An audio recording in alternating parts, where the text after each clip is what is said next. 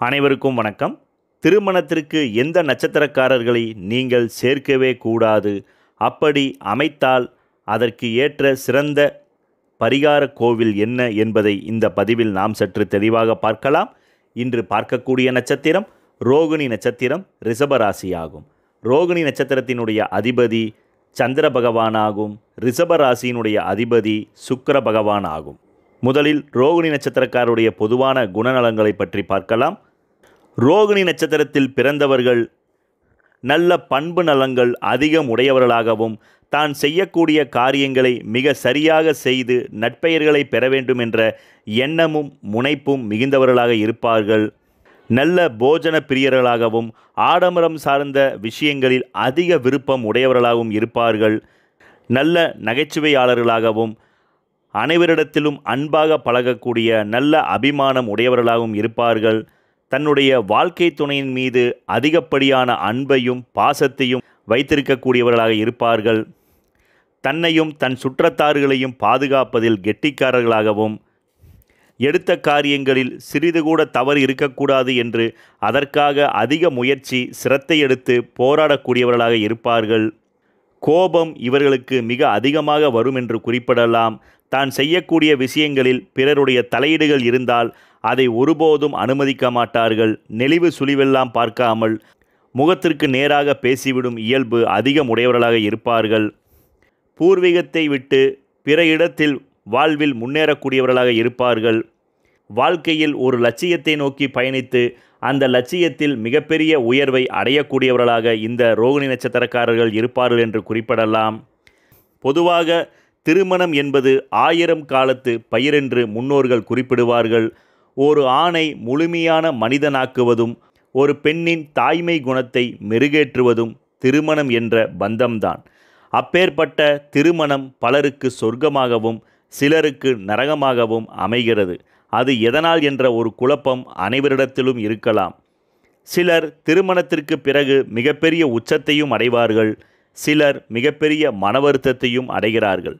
மேற்சொல்லவுள்ள நட்சத்திரக்காரர்களை ரோகிணி நட்சத்திரக்காரர்கள் வரனாக ஆணோ பெண்ணோ அமைக்கும் பொழுது நட்சத்திர ரீதியாக பொருத்தமாக வந்தாலும் கணவன் மனைவியிடையே பிரிவினை தீராத கடன் சார்ந்த பிரச்சனை ஒற்றுமை குறைவு மனம் திருப்தியற்ற நிலை கணவன் மனைவி யாரோ ஒருவருக்கு அடிக்கடி உடல்நிலை சரியில்லாமல் போவதும் மருத்துவம் சார்ந்த செலவினங்கள் அதிகரித்து கொண்டே போவதும் என்றும் மிக சிலருக்கு குழந்தையின்மை சம்பந்தப்பட்ட பிரச்சனைகளும் அடிக்கடி கடுமையான கருத்து வேறுபாடுகளும் முட்டலும் மோதலும் இருந்து கொண்டே இருக்கும். அதனால் மேற் சொல்லவுள்ள நட்சத்திரக்காரர்களை ரோகிணி நட்சத்திரக்காரர்கள் வரனாக அமைக்காமல் இருப்பது மிக மிக சிறப்பு என்று குறிப்பிடலாம். அப்படி நீங்கள் அமைத்திருந்தாலும் அல்லது காதல் சார்ந்த விஷயத்தில் மேற் சொன்ன நட்சத்திரக்காரர்களை நீங்கள் விரும்பி இருந்தாலும் உங்கள் வீட்டருகிலுள்ள ஜோதிடரிடம் உங்களுக்கும் அவர்களுக்கும் இருவருடைய ஜாதக ரீதியாக கட்ட பொருத்தம் தசாபுத்தி பொருத்தம் குரு சுக்கரன் செவ்வாய் சரியாக ஜாதக கட்டத்தில் அமைந்திருக்கிறதா? அல்லது மேற்சொன்ன குரு சுக்கரன் செவ்வாயுடன் ராகு கேது சனி போன்ற பகை கிரகங்களுடைய தொடர்புகள் வருகிறதா என்று பார்த்து வரன்களை அமைத்து கொள்வது உத்தமமாகும். மேற்சொன்ன கிரகங்களுடன் பகை கிரகத்துடைய தொடர்புகள் இருந்தால் திருமணம் செய்யாமல் இருப்பதே மிக உத்தமமாகும் அல்லது பரிசீலனை செய்வது நலமாகும். அப்படி ஏற்கனவே திருமணம் சார்ந்து அமைத்திருந்தாலும் அல்லது அமைத்து கொண்டாலும் மேற் சொல்லவுள்ள கோவிலுக்கு கணவன் மனைவி இருவரும் சென்று அந்த கோவிலில் சுவாமிக்கு பொங்கல் வைத்து சுவாமிக்கு வஸ்திரம் சாற்றி உங்கள் இருவருடைய ஜென்ம நட்சத்திரத்திற்கும் அர்ச்சனை செய்து அந்த திருக்கோவிலில் மனதார வழிபாடு செய்து வர மேற்படி சொன்ன தோஷங்களில் அறுபது சதவீதம் நிவர்த்தியாகும். மீதி நாற்பது சதவீதம் கருமாவுக்கு உட்பட்டதென்றே குறிப்பிடலாம். அந்த வகையில் ரோகிணி நட்சத்திரக்காரர்கள் வாழ்க்கை துணையாக அமைக்கக்கூடாத நட்சத்திரங்கள். அஸ்வினி நட்சத்திரம் திருவாதிரை நட்சத்திரம் பூசம் நட்சத்திரம் மகம் நட்சத்திரம் சுவாதி நட்சத்திரம் மூலம் நட்சத்திரம் திருவோணம் நட்சத்திரம் ஹஸ்தம் நட்சத்திரம் ஆகும். இந்த நட்சத்திரக்காரர்களை நீங்கள் வரனாக அமைத்தால் உங்கள் இருவருடைய ஜாதகத்திலும் கோச்சாரத்தில் இடம்பெயர்கின்ற கிரகங்கள் உங்களுக்கு சாதகமற்று தன்னுடைய செயல்களில் ஈடுபடும் பொழுதோ அல்லது ஏழரை சனி அஷ்டம சனி அர்த்தாஷ்டம சனி போன்ற சனி பகவானுடைய தாக்கங்களோ ஜென்ம ராகு ஜென்ம கேது அஷ்டமஸ்தானத்தில் ராகு கேதுகளுடைய தொடர்புகள் வரும்பொழுதும் உங்களுக்கும் அல்லது உங்கள் வாழ்க்கை துணைக்கும் ஏதாவது உடல் ரீதியாகவும் மன ரீதியாகவும் சில பிரச்சனைகளும் மூன்றாவது நபருடைய குறுக்கீடுகளால் இருவருக்குள்ளும் மிகப்பெரிய கருத்து வேறுபாடுகள் ஏற்படுவதற்கும் வாய்ப்புகள் உண்டு. அதனால் நட்சத்திர பொருத்த ரீதியாக உங்களுக்கு மேற் சொன்ன நட்சத்திரங்களில் பொருத்தங்கள் அமைந்தாலும் இந்த நட்சத்திரக்காரர்களை நீங்கள் அவசியம் தேர்ந்தெடுக்காமல் இருப்பது உங்கள் வாழ்வில் நல்ல வளர்ச்சிகளையும் உயர்வுகளையும் தரும். ஏனென்றால் நம்மை ஆளக்கூடிய ஒன்பது நவகிரகங்கள் தான்.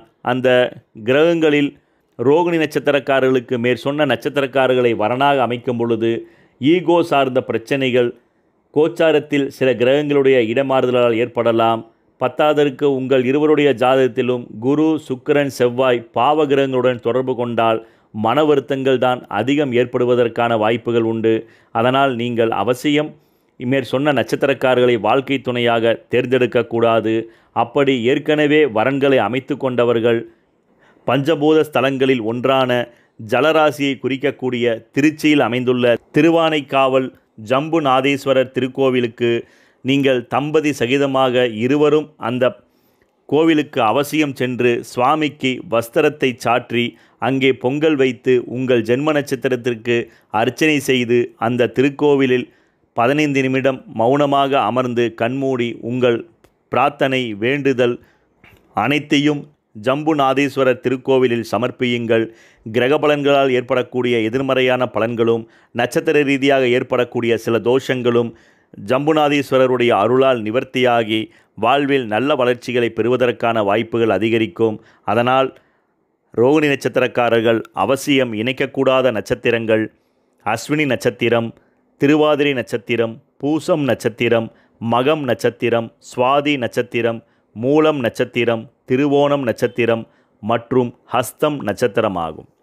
மேற் சொன்ன நட்சத்திரக்காரர்களை வரனாக அமைக்காமல் இருப்பது உத்தமமாகும். அப்படி அமைத்திருந்தால் நீங்கள் அவசியம் மேற் சொன்ன கோவிலுக்கு சென்று வழிபாடு செய்து வாருங்கள். வாழ்வில் புதிய திருப்பங்களும் நல்ல முன்னேற்றங்களும் உங்களுக்கு ஏற்படும். நன்றி வணக்கம்.